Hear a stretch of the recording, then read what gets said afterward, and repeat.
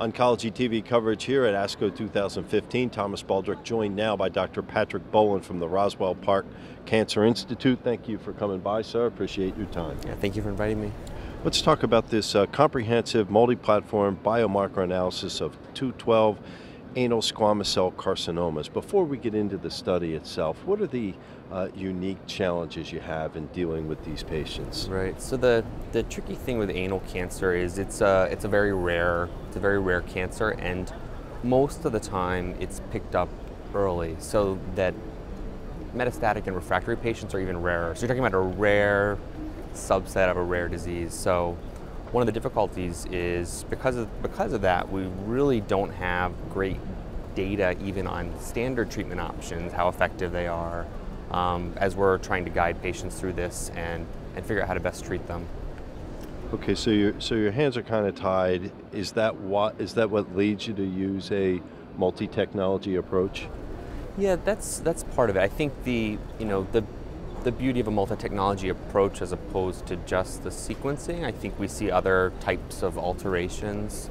So I, I think we get a better assessment of things like um, amplification um, and, and, and protein expression, which, you know, which may be important for some of these.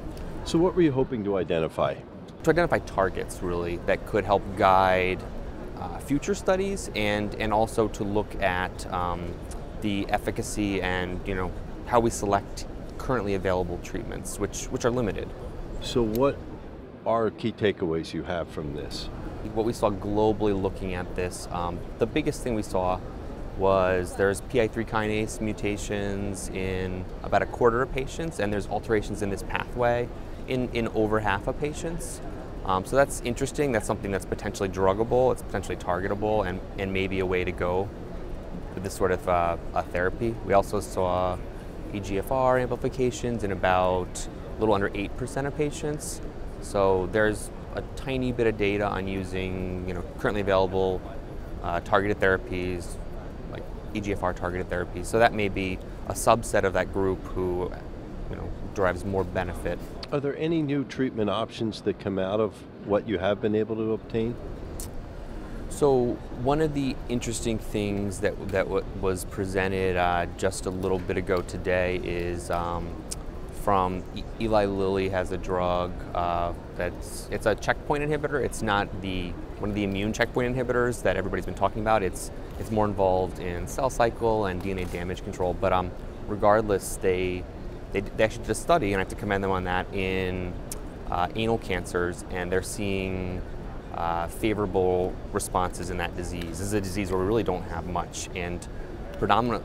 It looks like there may be a little bit of a signal that PI3 kinase alterations may uh, preferentially identify those patients, but it's it's very early, um, too soon to you know call that with any confidence. Overall, the, the value or importance of molecular profiling in dealing with a disease like ASCC.